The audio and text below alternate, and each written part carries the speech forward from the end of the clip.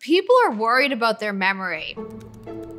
If you're forgetting to show up for your four o'clock meeting, or you forgot the actor who played Tony Soprano in the HBO series The Sopranos. Can't remember that guy's name. What is it? A lot of us tend to blame ourselves. This absent mindedness is a sign of mental weakness or a failing memory or a lack of character.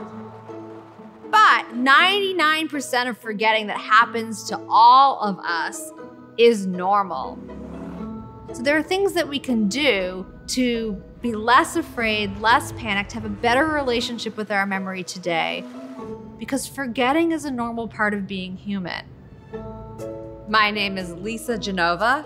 I am an author and neuroscientist. The name of my book is Remember The Science of Memory and the Art of Forgetting.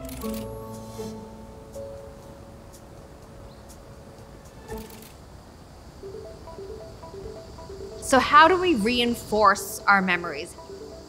How do we make our memories stronger, resilient to time, so that we can recall them decades later? The first essential ingredient in creating a memory that's going to last longer than this present moment is attention. If I put my glasses down and don't give it a moment's attention to notice where I've put this, I can't remember where they are because I never formed that memory to begin with. Your brain will never remember what you don't pay attention to. Chronic stress is really bad for our memory. Stress hormones mobilize your brain and body to respond, to fight, to flee, to react quickly, not to think. Stress is meant to be an acute, quick on and off phenomenon.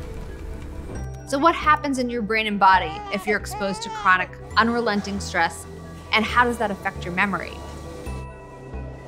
Under chronic stress, your body will just keep dumping adrenaline and cortisol and it can't shut off. This is bad for memory. You are actually shrinking your hippocampus, the part of your brain that's essential for forming consciously held memories is going to be smaller. You will be inhibiting neurogenesis, the birth of new neurons. The very good news about all of this, because I've probably just scared everyone, is that there are things that we can do to combat stress. This is where things like yoga, meditation, mindfulness, and exercise come into play. All of these have been shown to restore the size of people's hippocampus who've been chronically stressed. A quick word on meditation. A lot of people are intimidated by meditation. They sort of know that this is probably good for them in lots of ways, but maybe don't know how to do it. Here's a nine second meditation to help restore your cortisol levels and to help save your hippocampus and your ability to remember. Close your eyes if you can Breathe in through your nose to the count of four. Hold it for a second and then breathe out through your nose to the count of four. And notice how you feel. Here's what's going on the stress response causes you to breathe like this. By breathing slowly in and out through your nose, you are telling your brain and body that you are safe. We also want to get enough sleep. Sleep is not a state of doing nothing where you're unconscious and it's a waste of time. You're very biologically busy while you sleep. And there are a number of super important things that are going on in your brain with respect to memory. For example, if I got a horrible night's sleep last night, I'm gonna wake up today and my frontal lobe is gonna have a hard time dragging itself to its day job. And one of its most important jobs is paying attention. And if I can't pay attention to what's going on today, what am I not gonna be able to do well today? Form new memories. Also, your hippocampus consolidates the information you're learning into a lasting memory that you can consciously retrieve while you sleep. So, what happens if you don't get enough sleep? your hippocampus might not have had enough time to do the job. And so your memories from what happened yesterday and the stuff you learned yesterday might not be fully formed today, or they might not be formed at all. Caffeine is actually good for memory because caffeine increases your attention. So anything that's an attention booster is going to be a memory booster. We know that sleep is super important for forming memories. So caffeine's good for memory. You just want to be careful that it's not compromising your sleep. Our brains are not designed to remember people's names. These are abstract concepts. They live in neurological cul-de-sacs. Ultimately, there's only one way into that house that lives at the end of that street. There's no other way to get there. So, can we supply more associations to the person's name to give us a chance? In psychology, this is called the Baker Baker paradox. If I'm trying to remember your name and your name is Mr. Baker, that's really tough for me to remember. Abstract concept. But if I were asked to remember the word baker, I can picture him wearing an apron and he's got flour on his face. And oh, I remember the bakery I used to love as a kid. And we used to get Danishes there on Sundays. So now I've got all of these associations in my brain attaching to that word baker and gives me a chance to hook into it. For all of these memories, they benefit from repetition. The more we repeat, the more we practice, the more we rehearse a memory, we are strengthening those neural connections, making that neural circuit stronger and more likely to be fully retrieved.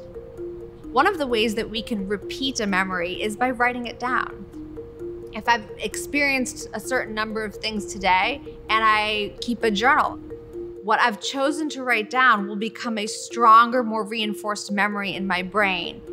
I will also have the opportunity to revisit that memory by reading it later. So many people come up to me so worried, saying, if I don't write what I need to do later down, I'm gonna forget to do it. That's gotta mean I'm getting Alzheimer's. And I tell all of them, no, it's your prospective memory. It's terrible. It's not cheating to write it down. It's actually good practice. Airline pilots do not rely on their brains and their prospective memories to remember to lower the wheels before landing the plane. They outsource the job to a to do list, a checklist. We should all write it down. Put it in your phones, put it in your mm-hmm. calendar alerts, make to do lists. If you want to remember to pick up milk at the grocery store, write it down. Another way to better remember this information has to do with self testing. If I'm trying to consolidate something into memory and I'm only putting the information in, I'm traveling one way on the neurons. If I then try to recall the information, I'm pulling the information out. Now I'm going the other way going over those circuits in both directions will help reinforce and make that memory stronger. Ah, la, la, la. Okay. Having a word stuck on the tip of your tongue is a normal glitch in memory retrieval. It's just a byproduct of how our brains are organized. So, looking up a word, Googling a word that's on the tip of your tongue isn't cheating. It will not cause digital amnesia. It will not make your memory weaker in any way. It frees you up. We can Google anything that we can't remember in a moment's notice and then use that information to continue thinking, to continue the conversation, to learn more. You have my permission to Google it and look it up. What I would love for you to take away from all of this is that your memory is amazing. It is limitless in what it's capable of remembering if you supply it with the right kind of information, if you supply it with the right kind of tools and associations. And it's wildly imperfect. And that's just the price of owning a human brain. Forgetting is a normal part of being human. Get smarter, faster with videos from the world's biggest thinkers. To learn even more from the world's biggest thinkers, get Big Think Plus for your business.